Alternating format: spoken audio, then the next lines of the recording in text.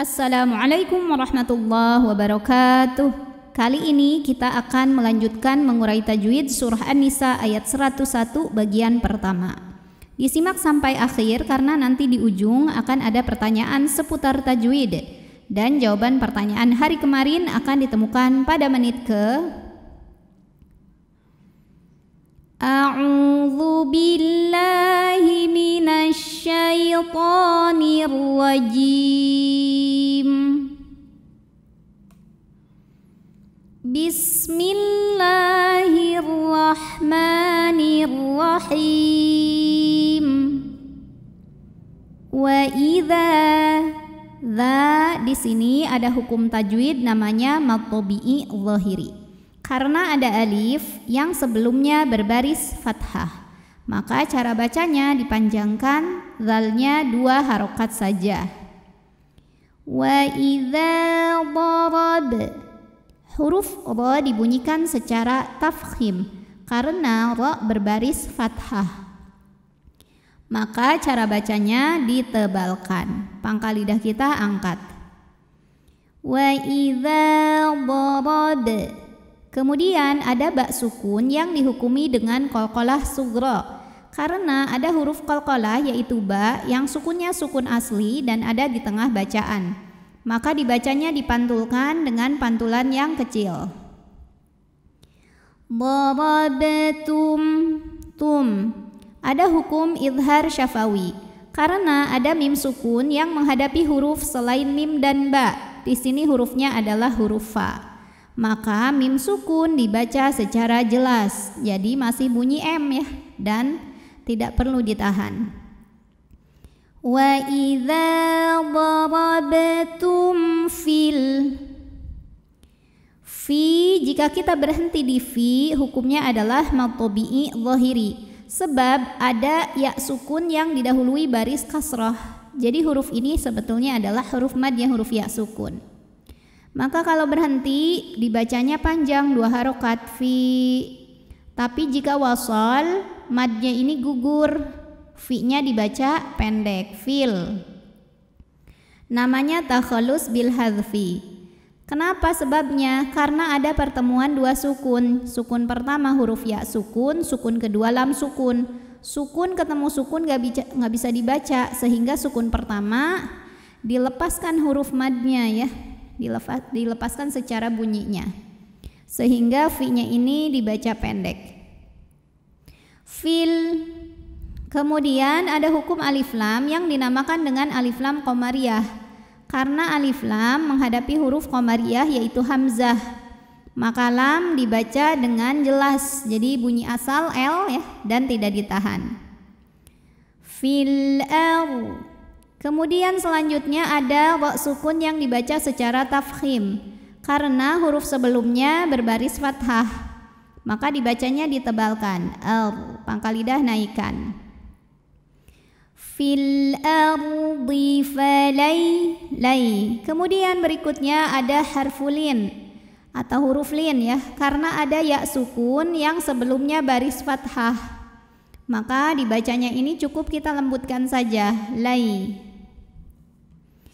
Falaisa alai lai. Kemudian di sini juga sama huruf lin. Sebab ada ya sukun yang sebelumnya baris fathah. Maka ini bacanya cukup lembut atau lunak saja ya. Alai alaikum. Kemudian berikutnya ada hukum izhar syafawi. Karena ada mim sukun yang dihadapannya bukan huruf mim, bukan huruf ba, selain mim dan ba. Kebetulan di sini hurufnya adalah jim. Maka cara membunyikan mim sukunnya adalah dibaca dengan jelas M-nya ya. Alaikum. Alaikum juna. Nah, mabtobi'i zahiri. Karena ada alif didahului baris fathah.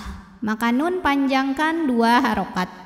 Junahun hun.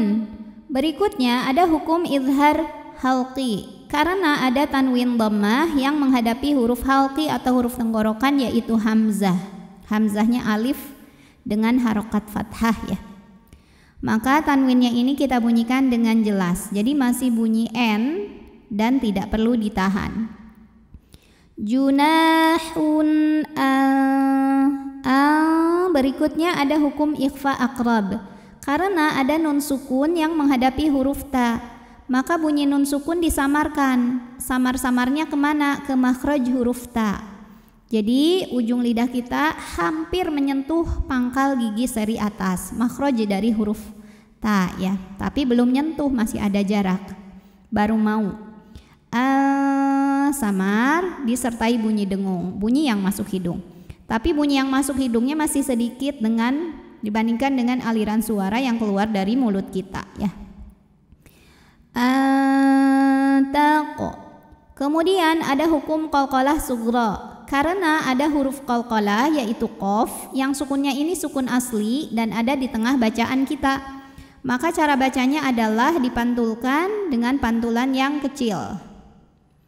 Antaqasuru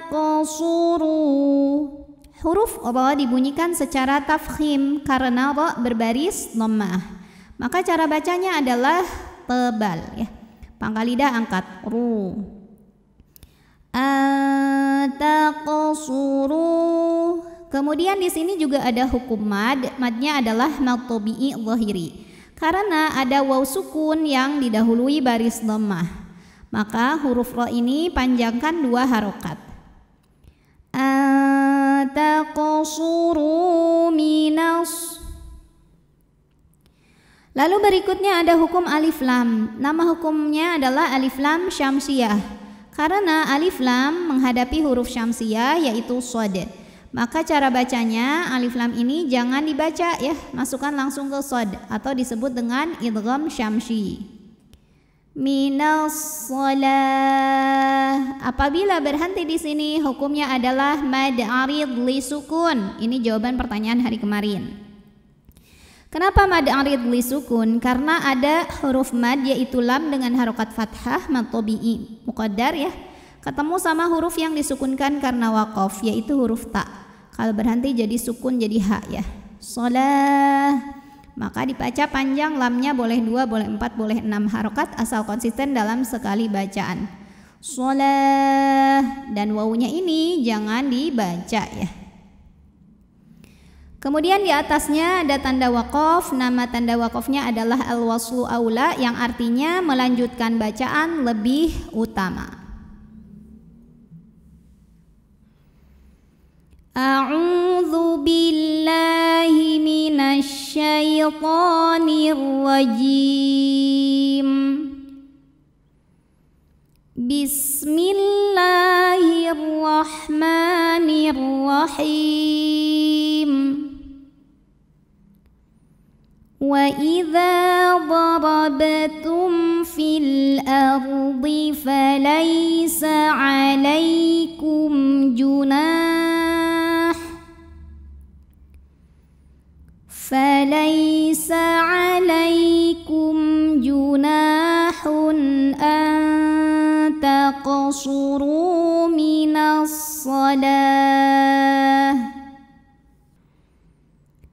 Pertanyaan hari ini sebutkan nama hukum dari alif lam ini ya. Alif lamnya alif lam apa, kemudian sebabnya apa dan bagaimana cara membacanya.